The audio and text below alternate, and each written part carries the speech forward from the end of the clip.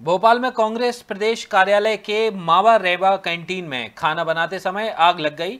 आग लगते ही कार्यकर्ता घबरा गए और चारों तरफ़ अफरा तफरी का माहौल हो गया, लेकिन जल्द ही इस आग पर काबू पा लिया गया। कांग्रेस प्रदेश कार्यालय में कुछ दिनों पहले ही माँ रेबा कैंटीन का शुभारंभ किया गया था, जहाँ आज खाना बनाते समय कैंटीन में आग लग गई। आग लगते ही कांग्रेस कार्यकर्ताओं के बीच अफरा तफरी मच गई। हालाँकि इस आग पर जल्द ही काबू पा लिया गया। आग की सूचना लगते ही फायर ब्रिगेड तत्काल मौके पर पहुँची और आग पर काबू पाया गया। कारण वही है, चूल्हे में इनका खाना बन रहा था, टिफ़िन पैक कर रहे थे खाना बन रहा था इनका। तो सिलेंडर का पाइप लीकेज होने के कारण जो है, आग लग गई उनके। जैसी सूचना प्राप्त हुई तो हम लोग यहाँ पर आए उनने किचन के वर्करों द्वारा पहले ही उस आग को काबू कर लिया गया था, जिससे कोई हताहत नहीं हुई है। बिल्कुल अब सब आग बुझा दी गई है। कोई हताहत नहीं किसी को कोई चोट दुर्घटना। Rabindranath Tagore University Bhopal N I R F rank for five consecutive years